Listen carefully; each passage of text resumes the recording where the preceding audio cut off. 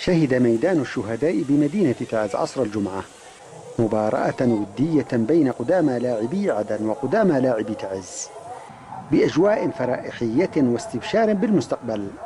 فبحسب قول الجمهور الرياضة تجمع ولا تفرق. نحن شعب واحد من زمان ورياضيا في فترة الانفصال كنا موجودين سواء لاعبين في تعز من عدن أو لاعبين في عدن من المحافظات الأخرى.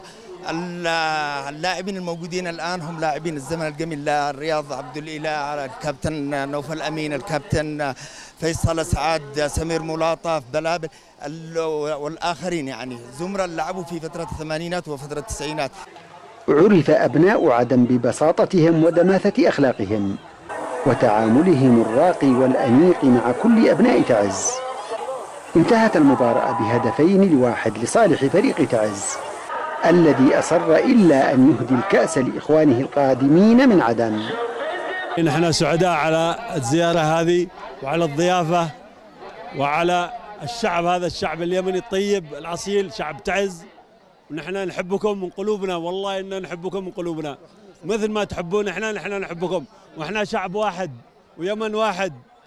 وما في بيننا أي شيء إن شاء الله. واليمن في قلوبنا. كان الفوز من نصيب فريق تعز إلا أننا أصرينا وأبينا إلا أن نهدي الكأس لأشقائنا. عمالقه كرة القدم في الزمن الجميل وفي الكرة العدنية وإن شاء الله تتكرر مثل هذه الزيارات. ونشكر من قام على هذه الفعالية.